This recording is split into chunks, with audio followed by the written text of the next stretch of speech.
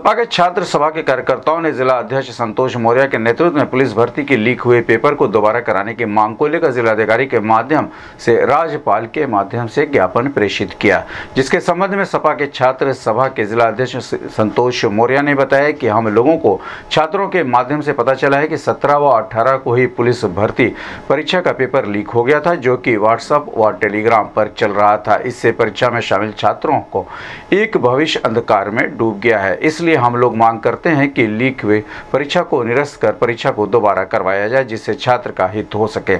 इस अवसर पर सत्यम सिंह यादव, राज पासवान, आफ्ताब अहमद, नवाज़ लारी, उदय चौहान सहित अन्य लोग मौजूद रहे। इस संबंध में गोरखपुन्नी से बात करते हुए सपा के छात्र सभा जिला अध्यक्ष संतोष मौर्य, आज़म लारी ने कहा।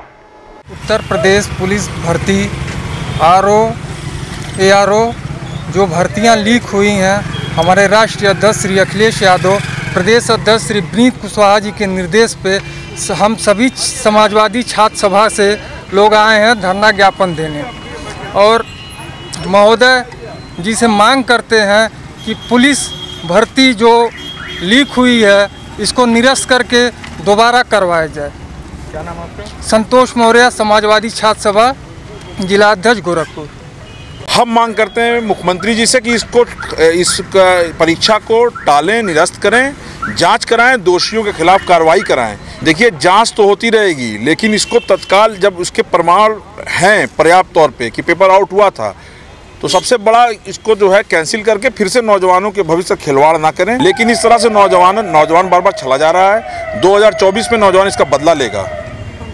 मेरा मोहम्मद आज़म लारी नाम है। मैं यूथ ब्रिगेड का पूर्व जिला अध्यक्ष हूँ, गोरखपुर का।